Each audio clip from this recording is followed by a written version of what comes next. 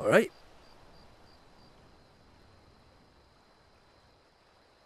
Here. I've got two survival tips for you. Never piss in the wind, and don't eat yellow snow. There now, lass. Aye.